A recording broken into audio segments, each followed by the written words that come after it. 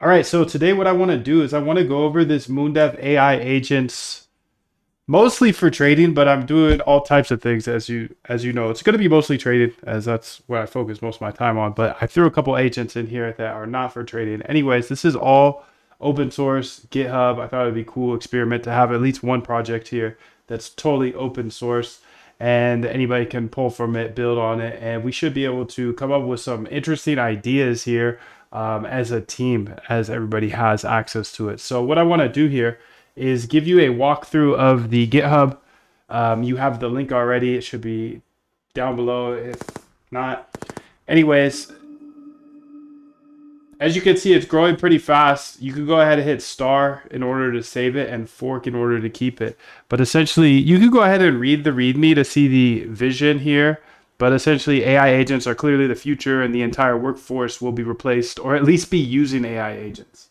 Is that going to be this year? Probably not. Next year, maybe. Over the next five years, I think absolutely. So I just wanted to get this out in the public and then walk you through how to use this. There are two short um, document uh, documentation videos I created here, but ideally this will be the third one to really show you the things that I've been building this week. As each week they will get updated. So you see we have a bunch of live agents, and this week we actually updated the trading agent. So now there's a swarm model. So not a model, but a swarm agent that we built. If we scroll down here, you know, we have a bunch of agents. You can read through them, the strategy agent, the trading agent, the risk agent, the copy agent, the whale agent. A lot of you have been here while I was building some of these on stream as well. But one of the big updates we made was the swarm agent that queries a bunch of different AIs. And I think this is a very interesting idea. It, queries like five, six different AIs like Claude, Gemini, Grok, DeepSeek and then it asks them a question. So imagine five questions, five different companies get their answers, and then it comes back and it comes back with a consensus AI.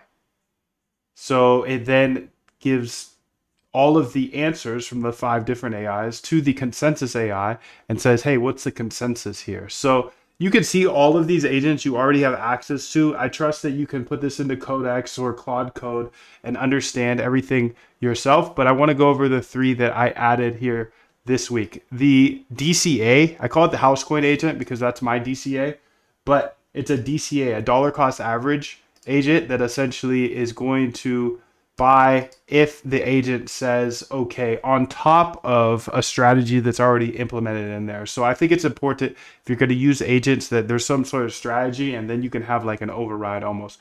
What I'm really excited about this week is this swarm agent. I think this was the biggest jump. So I'll show you how to access it. You can see it queries six AI models in parallel and then it has an AI consensus agent as well that will help kind of consolidate all of the answers. And then also I made a Polymarket agent. This Polymarket agent essentially connects to all of the live trades on Polymarket and constantly watches all of the live trades. And then it actually uses the swarm agent in order to get a swarm consensus on what trades maybe are interesting to take a look at. I would say this is in beta, but again, the Swarm Agent is one of the biggest jumps I've made this week, and I always want to show you at the end of the week the biggest jumps. That being said, don't sleep on any of these because these are all very interesting as well. So, you know, you can read the README on your own time. That being said, I want to give you a walkthrough of how some of this README works. So just read all the way through and you'll understand everything. But the key part here, where all the code is, is in the SRC folder. So in the SRC folder, if I go to agents, this is where all the agents I will continue to build will be placed. The one I wanted to show you today specifically was the swarm agent. Since everybody has access to this code, don't worry about taking screenshots or anything. I just want to show you around. You can see the swarm agent. It will explain everything here at the top. But then you can see here we have all of these different models. Most of them are API models that you call, but you can see I also implemented Ollama so you can run these locally as well because a lot of people are worried about the AI costs, etc. Well, now you have local models. So you can see all the code here, how it works with the swarm agent. And essentially I can ask them anything and I could probably pull this up too. Let me see if I can pull up the code cursor here. Um, where are my AI agents? Here we go. Let's go to the swarm agent so you can see an example of it. I think it's really, really cool to be able to ask the swarm agent anything. And it will go ahead and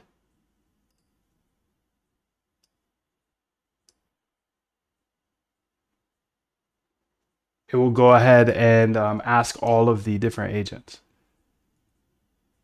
So you can see if I run it here, it will allow me to run it independently, but really I built it so I can import it into all of my other agents. For example, a trading agent. Maybe you have a strategy that works and then you want to ask, hey, should I actually enter this position to six different um, AIs? Does that work? I don't know, but this is a new frontier and anything new that I build, I want to show you immediately. So what would you like to ask the AI swarm?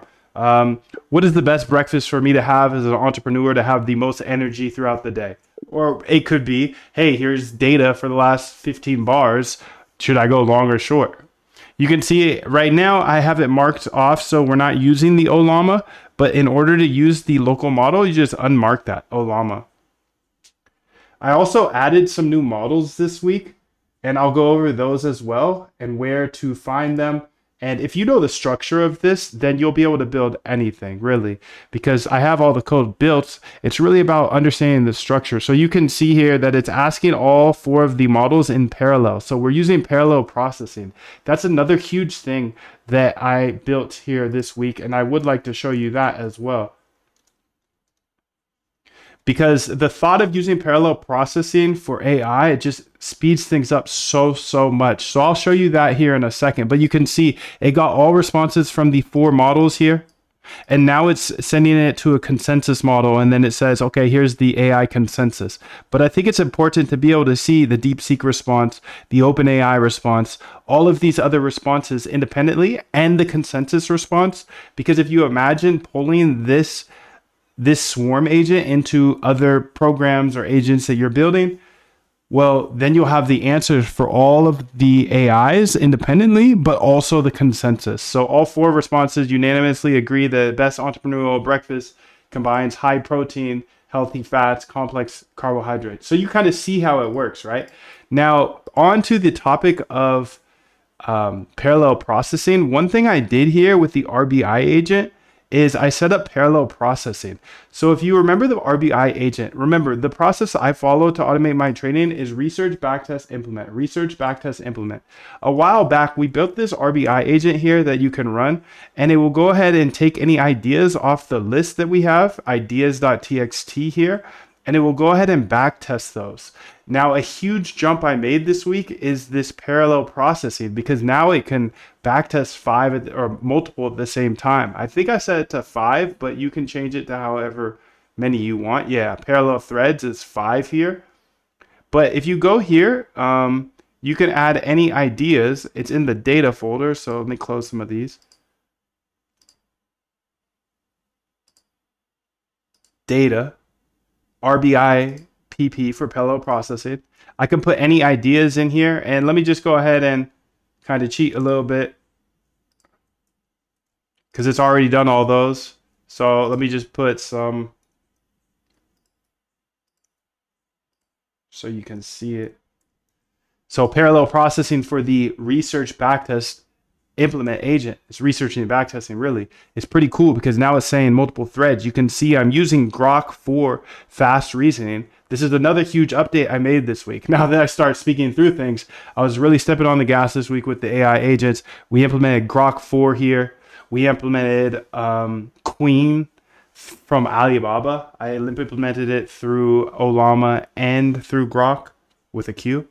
But you can see now this goes ahead and creates a folder and it starts to first off research the idea. So whatever idea I put here, it went ahead and made a better like written out idea because the next step here is it's going to backtest the ideas. So this backtest folder should start getting um, filled up with new backtests. But I think this is very cool because before it used to do one idea at a time.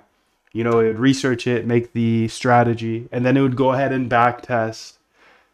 And then it would try to debug it, and then it would move on to the next one. But now it does them all at the same time, or at least I have five at five threads. You can probably do more, but you can see the back test is being outputted here. Now it'll start debugging the back test, and so on and so on. So this was a huge, huge jump for the RBI agent, and that is available inside of the GitHub under agents here.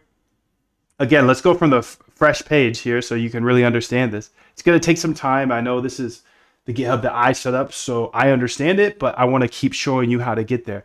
You go to the main page, read the README, and then go to the SRC agents here. You can see I just showed you the swarm agent down here.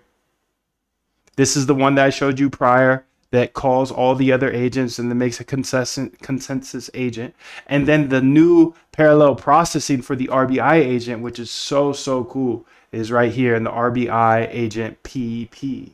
Okay, some other things that I added this week that are big movers, as I mentioned before, the models here.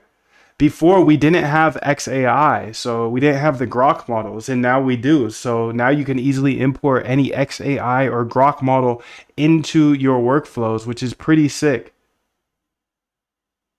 It's pretty inexpensive as well. You can see the pricing here. Okay, but there's also another model that I added, and it was Qwen from Alibaba.